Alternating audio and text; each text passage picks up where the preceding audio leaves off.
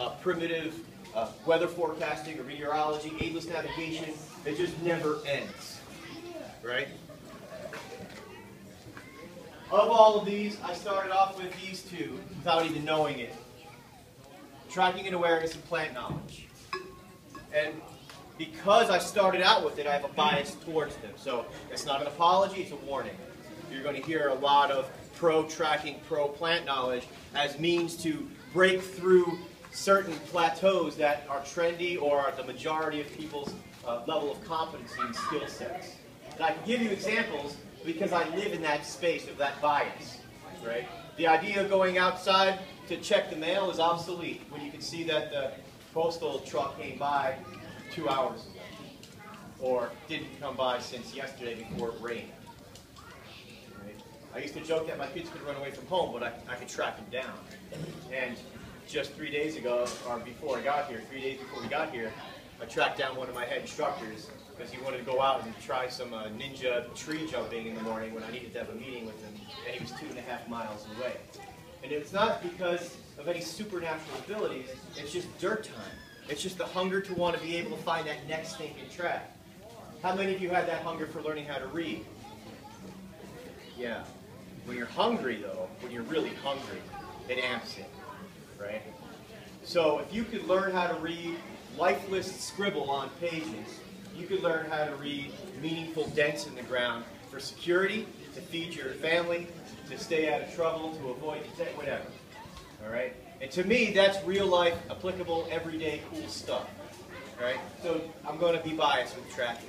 With the plant knowledge, the idea that you could know every single edible, medicinal, utilitarian use of all of the trees, shrubs, vines, lianas, herbaceous plants, whether they're annuals, biannuals, when those things are harvestable, how to put them by for winter, how to ret them for cordage strong enough for your bow, how to make your bow.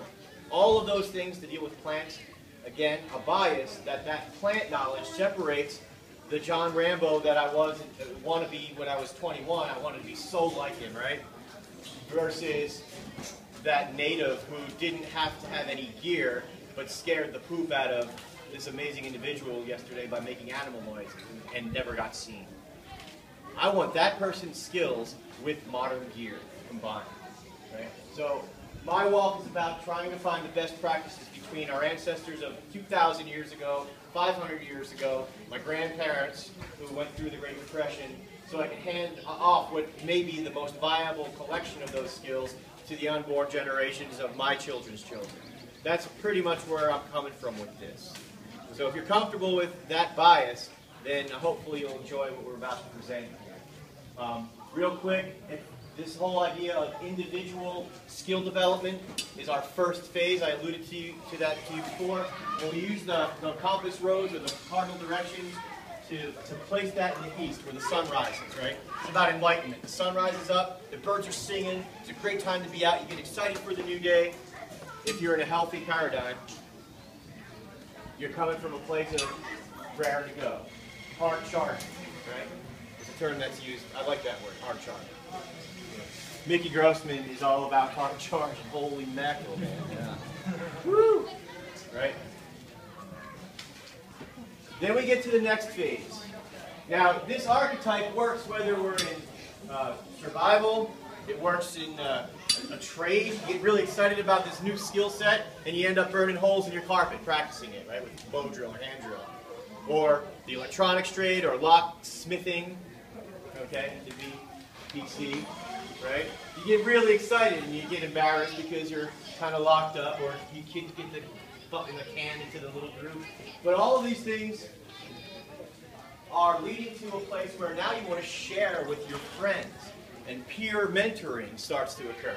And this is what this is like one of the many magical pieces of this event is just you sit down at a table long enough, someone else is going to sit down right next to you and you're going to start sharing skills You're going to start sharing stories and experiences. And from that comes personal growth.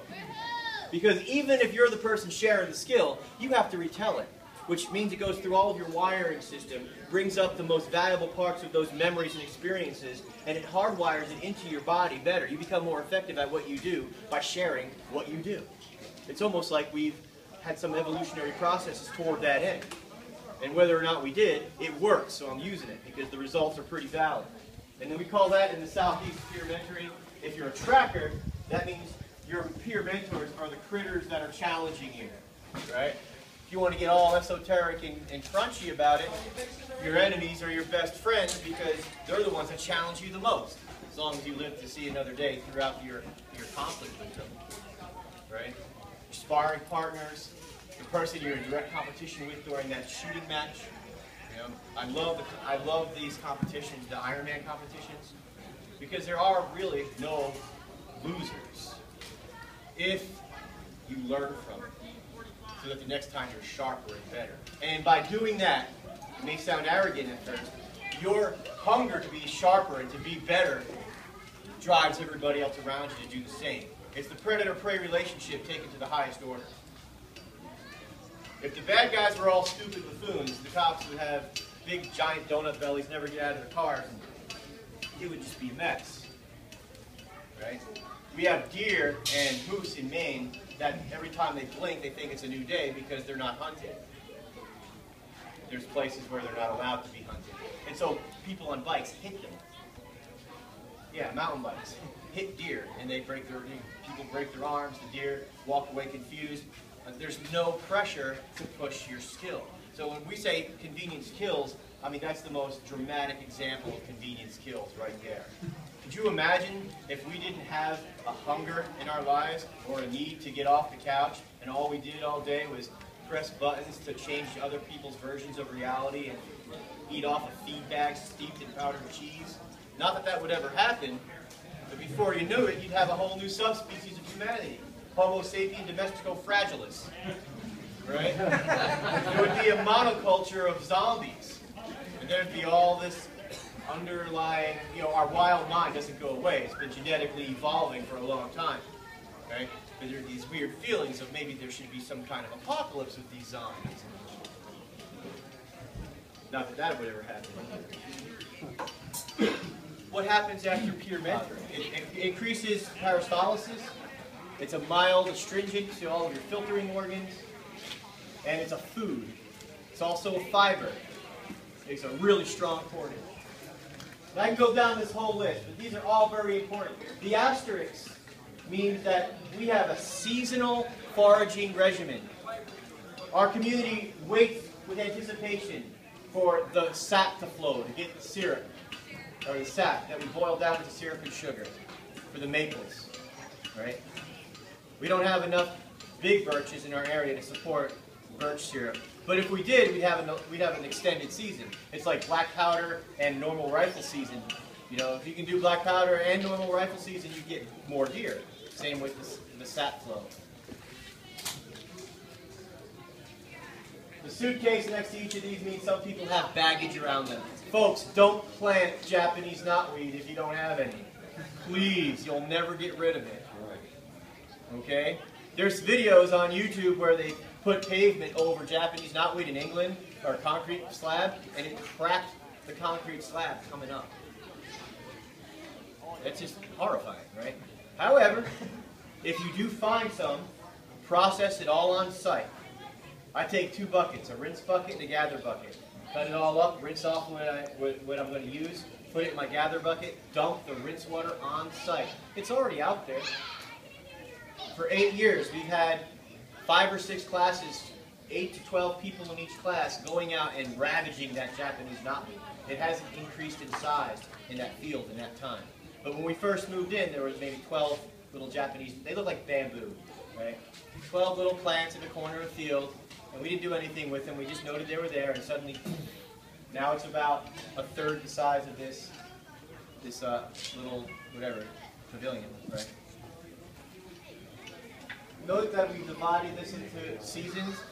If you're really interested in doing this right, get one of those big desk calendars and put it on the wall. A computer isn't going to do it. You got to have your, your, your muscle memory involved here. And when you see things happening, oh, snapping turtles are laying their eggs, it down. Even if it doesn't make, make any sense to you. Groundhog roadkill season. All right, I'll write it. There's two of them, by the way.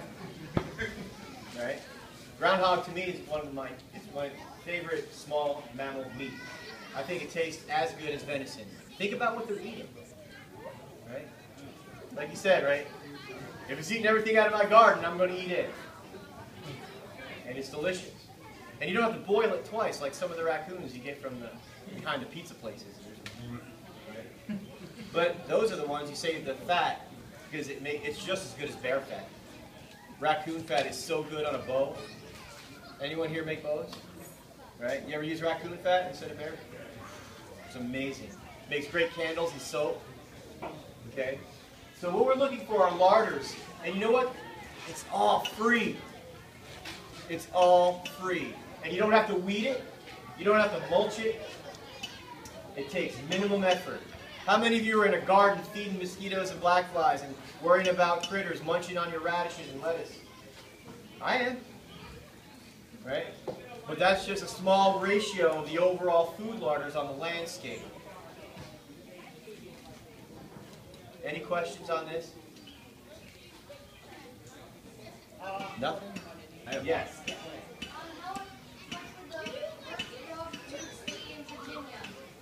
I don't know.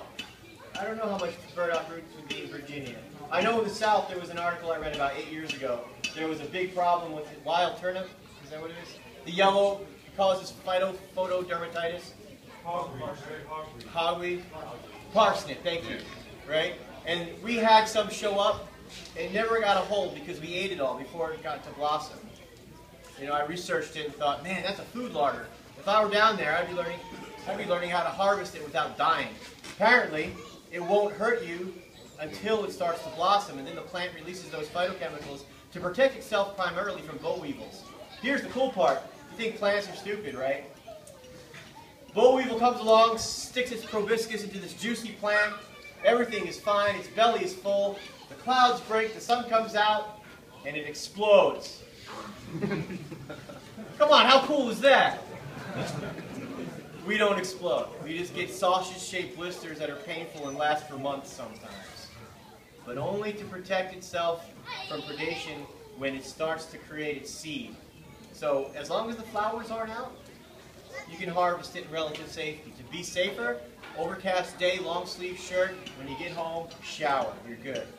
We don't need to needlessly fear plants. There are a few that can kill you. There's a bunch of them down on the water's edge. You're gonna, uh, we're gonna run into them when we do the plant class tomorrow.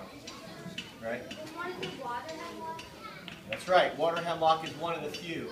Out of over 2,000 plants in any biome, Florida has like 10 times that much. But in any biome, there's at least 2,000 native plants. There's probably only 20 or less that can kill you. And of those 20 or less, there's probably 8 or less that actually don't taste so bad as they do it. The rest are going to cause severe burning, blistering, vomiting, until you get the dose that finally kills you. You really got to work at it. Nature has a way of calling out those that, well, you know. Right? So, I don't know. I don't have anything left unless you're not, I mean, I, I got some, uh, if you wanted to plant some plants, what I do is I, I look for the trees.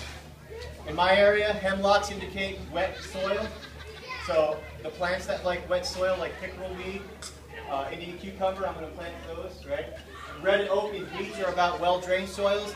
We plant sweet fern. Sweet fern is high in tannins, and unlike oak, is available from early spring through the late summer while we're waiting for those acorns to drop.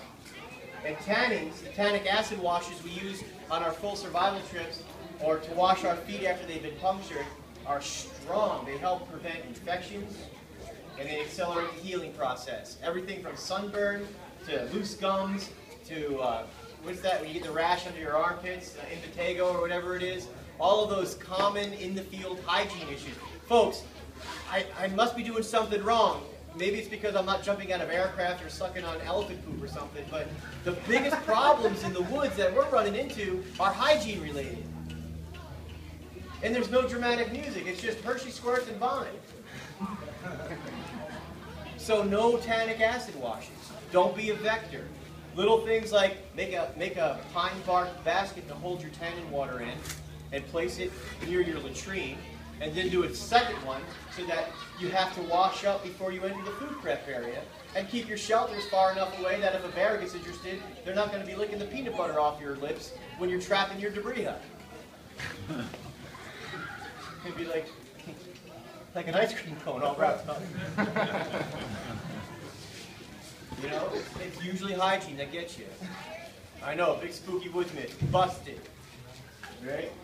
So look at the trees, what's growing underneath them, and then if you can find a useful plant, and there's a lot of them, thin them out. You don't need to wipe them out. Thin out about a third, bring that third back to your yard, and plant them in similar areas. Some of them are going to fail. But guess what? Now you know. Right? But a lot of them are going to stick. Okay? Bone set we use for flus. And I know that sounds like a myth. There's no such thing as a cure for a flu. But when someone starts to cough or get a sniffle, we drink bone set. It's bitter. Absolutely. It is bitter. It works. We had it, yeah. It works. Did last year. It never seems to evolve past that initial stage, does it? Doesn't work.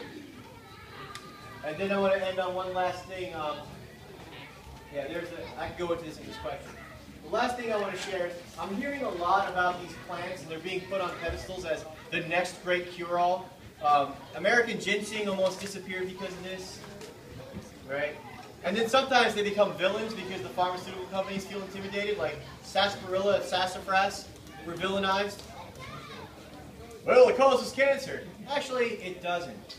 What causes cancer is when you extract and isolate some of the alkaloids that are trace elements in a whole suite of phytochemicals, and then you amp them and superdose them to rats, and then they're surprised that there's tumors.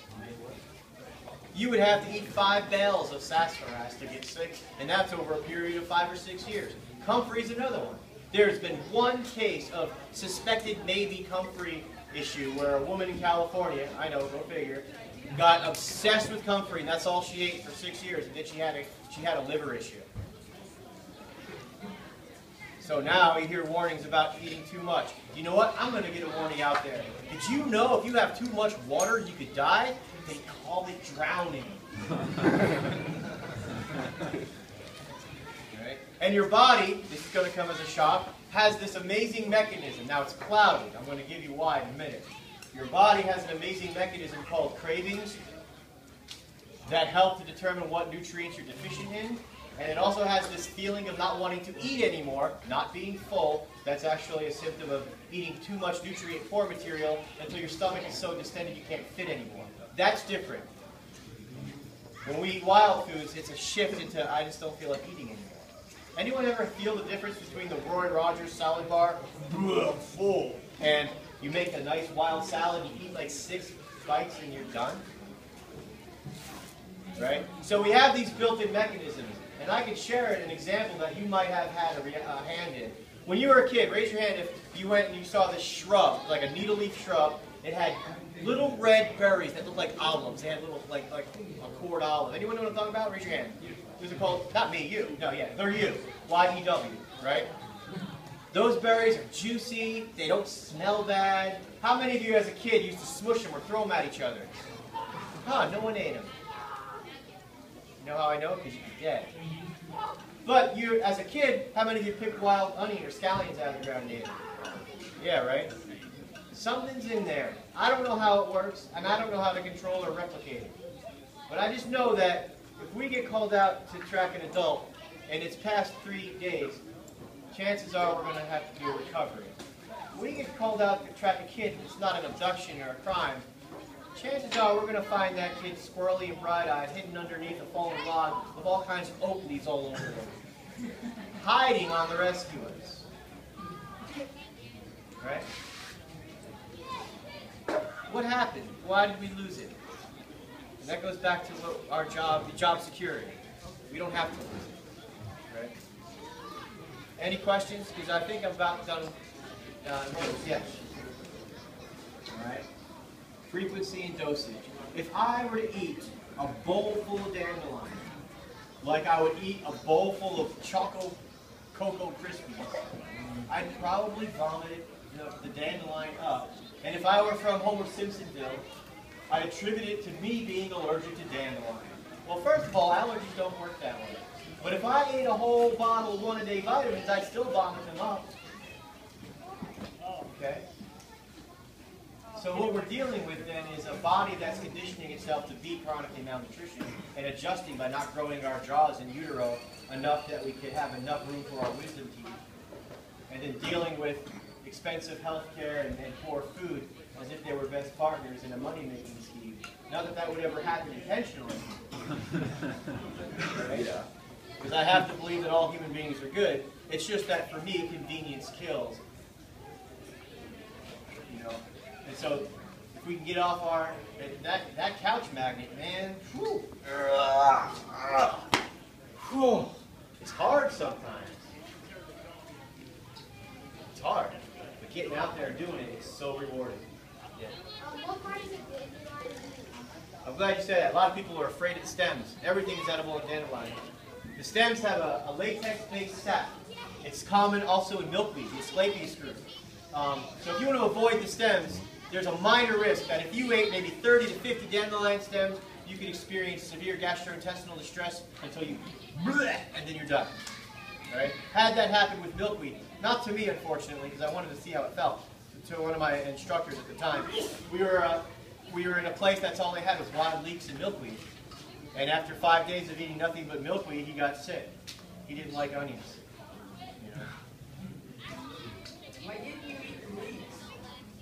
Well, oh, I, I ate the leeks. I took a leek. Every day, because they, they were so plentiful. It's just he, he didn't like onions, so that's all he ate was milkweed, and then he got sick. Right? The chart under this page. Oh, that blew over. Um, this is how to process any non-native aggressive species or invasive species so that you don't spread it. Right? Come up with your own protocols. You don't want a weed you can't get rid of, no matter how powerfully medicinal it is, if it wipes out everything else you're trying to cultivate on your land. There is, there, it's important to be diverse and to, and to have vibrant health, whether it's the soils or the plants or the mycelium and the fungal matter that grow in there, you know, turkey tail mushrooms, chaga, all of that. Um, and, and all of that supports your meat. All right, a lot of people just like meat. Well, if you want meat, you better have plants. And since you're going to have to have plants anyway, they might as well be really useful ones. Uh, I'm diabetic, what's the big deal with dandelion for diabetes? Um, it's a nutritive that doesn't isn't steeped in simple sugars or simple carbs. So you, your body can assimilate the nutrients without having to suffer through sugar imbalances. Okay, and there's hypo and hyperglycemia, if I'm not mistaken. Um, beyond that understanding, I'm pretty ignorant with uh, diabetes, except that I have two relatives who grow sunchokes, Jerusalem artichoke, and they use them as a large part of their summer forage to help balance out their issues with their sugar in their blood. Okay, but I want diabetes. Um, there's all of these um, nutrition-related deficiency diseases. If you start eating wild foraged foods, you'll find, at least from what I've seen on our landscape over the last few decades, a lot of people start commenting on how it's amazing that their symptoms have either completely abated or that they've minimized, right? Not gone away, but minimized.